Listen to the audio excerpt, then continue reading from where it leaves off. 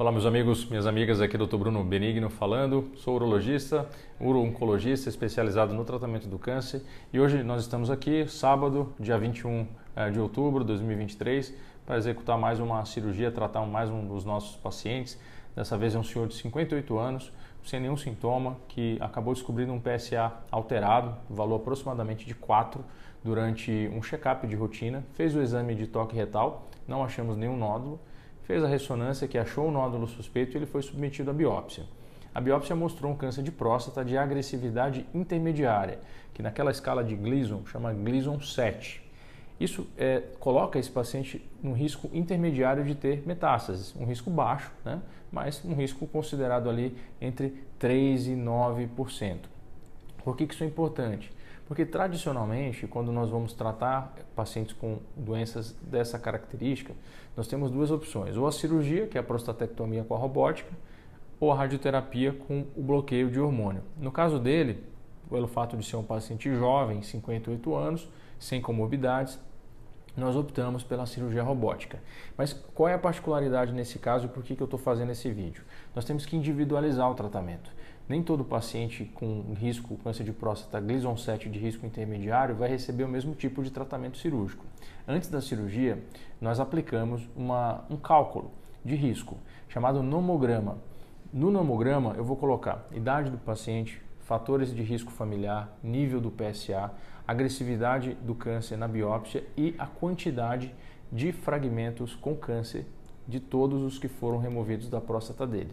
No caso desse nosso paciente, foram 11 fragmentos. E o nomograma, ele dá para a gente qual o risco da doença ter rompido a cápsula, qual o risco da doença ter infiltrado os gânglios, os linfonodos. No caso do nosso paciente de hoje, esse risco é, de ruptura da cápsula foi de 30%, o que é relativamente alto. E segundo, a chance dele ter um gânglio comprometido, e aqui eu não estou falando de metástase, eu estou falando do gânglio que saiu da próstata e foi para o linfonodo, que são estruturas do tamanho de um menores do que um grão de feijão e que ficam ao redor é, de todos os órgãos do nosso corpo. No caso dele, o risco foi de 9%. E isso faz com que eu, o cirurgião, tenha que mudar a estratégia de tratamento. Numa cirurgia padrão de próstata, nós retiramos a próstata e uma área de gânglios de cada lado da próstata. A isso nós damos o nome de linfadenectomia. Tá? Mas no caso dele, como o risco foi de mais que 5% de ter gânglios comprometidos, nós vamos fazer uma linfadenectomia estendida. Então eu vou retirar não só um, uma área de gânglio de cada lado da próstata dele, eu vou tirar três áreas de gânglio de cada lado. Mas por que isso? Porque quando eu aumento a extensão da cirurgia, eu também aumento a probabilidade de tirar focos de doença que poderiam ficar escondidos depois e ser um foco de retorno do câncer. Então, a linfadenectomia estendida é um procedimento que não é feito para todos os pacientes, mas em alguns casos, em alguns casos, como o, do nosso paciente de hoje, nós podemos indicar. Tá? Tradicionalmente, essa técnica que eu acabei de descrever, ela é usada de forma padrão para os homens que têm o câncer de próstata de alta agressividade, que são aqueles com o Gleason 8, 9, 10, aqueles que a doença já francamente rompeu a cápsula da próstata. Mas no Gleason 7, nem todos os pacientes precisam dessa técnica modificada.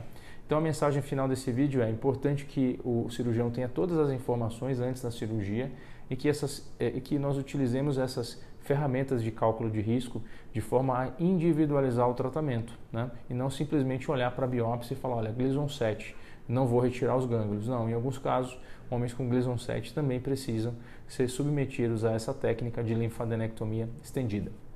Espero ter ajudado com essas informações para você chegar no seu médico um pouco mais informado e perguntar para ele, olha doutor, eu tenho Gleason 7, eh, no meu caso tem ou não indicação de fazer essa técnica de linfadenectomia estendida. Visite o nosso canal né, no YouTube, nós temos mais de 600 vídeos educativos, muitos deles sobre câncer de próstata. Tenho certeza que alguns deles vão ajudar você nas suas dúvidas e que você chegue mais preparado para um momento tão difícil quanto esse. Espero realmente ter ajudado. Obrigado pela atenção e até a próxima.